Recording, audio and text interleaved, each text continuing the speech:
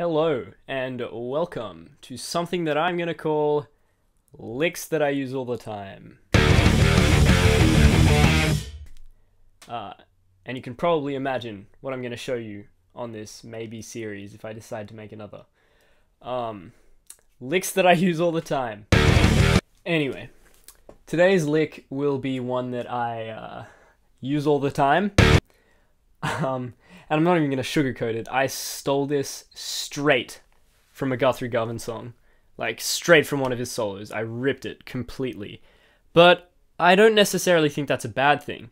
Because in order to grow as a guitar player, you have to steal licks from other players that you like. That's how you get originality these days. You have to keep mashing together things from all of your influences until you get an original sound. Uh, and that's how you write great music these days. So, uh, there's nothing stopping you from stealing other people's licks and putting them into your solos, and eventually they'll become your solos because you'll add enough of your style. Anyway, I'm rambling on. Here is the lick.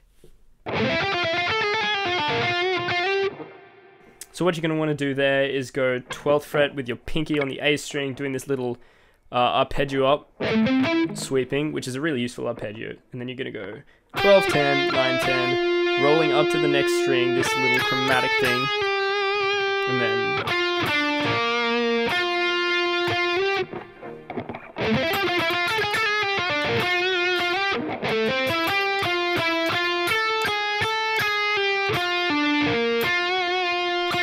I like to hybrid pick that last note just because that's kind of how I play the guitar.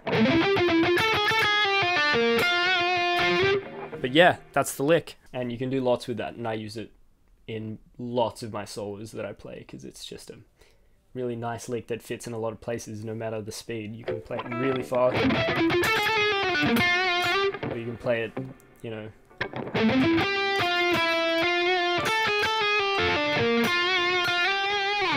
It, it really works anywhere, uh, especially in fusiony solos, which is what I play most of the time.